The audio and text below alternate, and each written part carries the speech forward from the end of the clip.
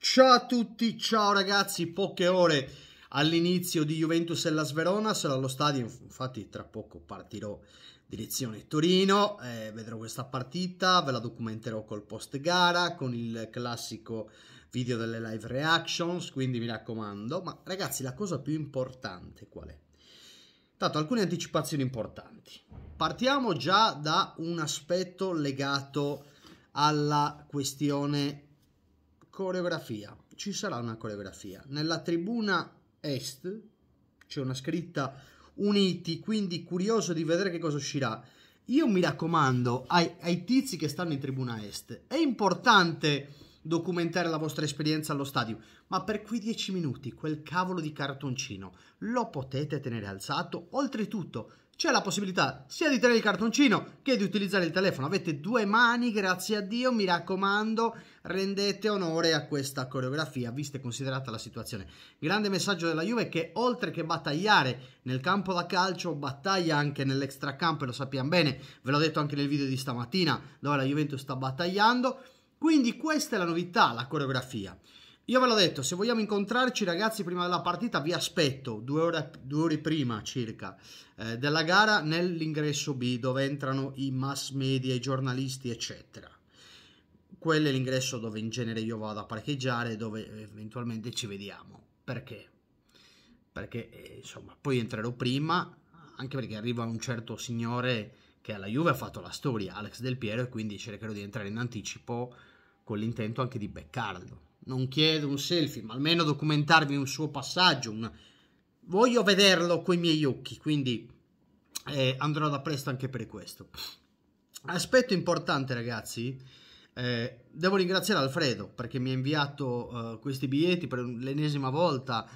Alfredo, io ti ringrazio di cuore. Lui ha i biglietti, ma ragazzi, no, cioè, hai abbonamenti, non è obbligato a invitare me, però lo fa con piacere e io gli, gli, sono grato, veramente. Andrò con mia moglie a goderci questo spettacolo, eh, andremo al club Boniperti, eccetera. A proposito, ho anche acquistato i biglietti per Juve Napoli in curva nord e per Juventus Sporting.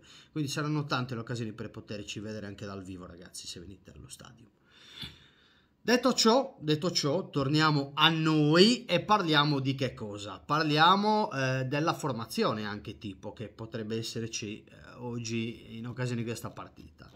In porta ovviamente non ci sono dubbi, ci sarà il buon Tech Scesni, da cui mi aspetto anche una buona prestazione anche da parte sua, perché tanti non so perché non lo vedono come un buon portiere, per me a livello di rendimento è tra i migliori d'Europa in questa stagione, in termini di parate, in termini di numeri è questo vi dico. Dietro, conferma per Federico Gatti, vista anche l'assenza di Alexandro. Gatti che però ha fatto due grandi partite. Io lo voglio vedere in questo banco di prova qua. L'Ellas è una squadra che non sta brillando particolarmente, è una squadra non troppo forte, però voglio vedere quando eh, come impatta questo ragazzo quando la tensione secondo me agonistica è leggermente inferiore, è leggermente un pelo più bassa. Quindi lo voglio vedere alla prova in questa situazione e dovrà dare delle conferme anche lui. E la cosa che gli riconosco è la grande umiltà nel dire sono alla Juve, ho fatto due grandi prestazioni, ma oggi non ho fatto nulla. Grande Federico, questa è la mentalità giusta. Poi ovviamente ci sarà anche al suo fianco Gleison Bremer, i due brasileiro con Danilo anche accanto, la difesa 3 sarà composta da questi elementi. Poi ci sarà come esterno destro il buon Mattia De Sciglio, che potrebbe anche portare la Juventus in certe situazioni magari a giocare anche a 4, vediamo, non lo so.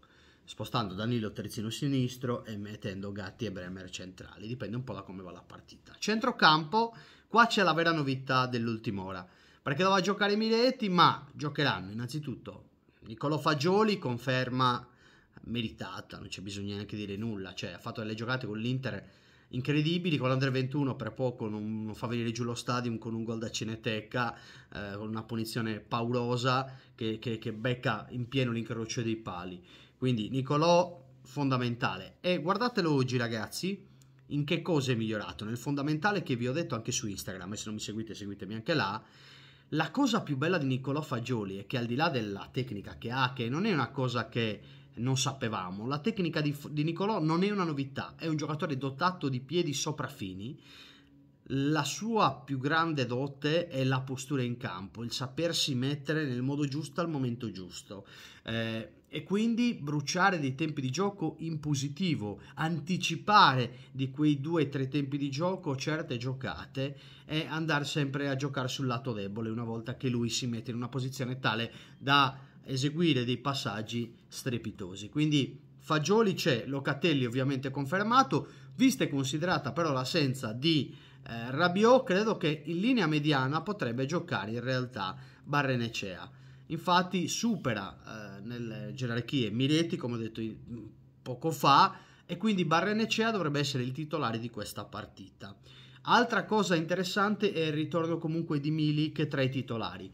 Giocherà, non giocherà, Chissà, innanzitutto la conferma per Kustic c'è, giocatore imprescindibile e appunto giocherà Arkadiusz Milik in compagnia di Moise Ken. Questo sarà probabilmente il tandem d'attacco.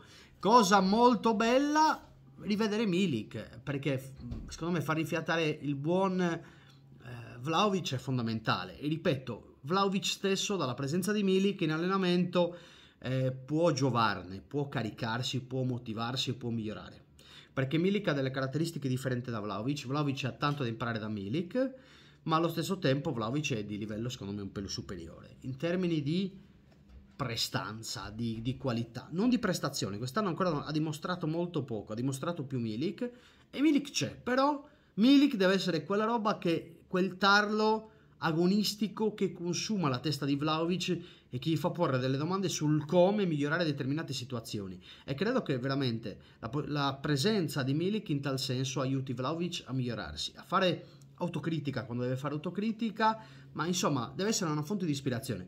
Oltretutto non li sto mettendo in discussione in termini di due giocatori che stanno nella stessa squadra e sono rivali e non si possono vedere. Mi pare che il rapporto sia ottimo e di grande collaborazione ed è questa contaminazione continua dall'allenamento al rendimento in partita che deve far migliorare e maturare Dusan Vlaovic. Detto ciò ragazzi adesso io mi preparo per partire alla volta di Torino e l'ultima novità che volevo illustrarvi invece è la maglia. Ci sono conferme, dovrebbe essere eh, questa maglia qua che non so quanto piaccia a voi o quanto insomma la riteniate insomma una maglia bellissima da acquistare. Subito devo essere sincero a me a primo impatto non dice ancora tanto. Vorrei vederla indossata dai giocatori e l'effetto che mi, pa- che mi fa una volta che l'hanno indossata ecco. È una maglia sicuramente nuova questa irregolarità un po' tamarra diciamo così secondo me è molto affine ai gusti giovanili e credo che alla fine l'idea della Juventus sia esattamente questa, andare a colpire un'utenza di giovani per questa maglia. Aspetto le vostre opinioni sotto nei commenti, iscrivetevi al canale e sempre fino alla fine Forza Juve ragazzi. Ciao belli!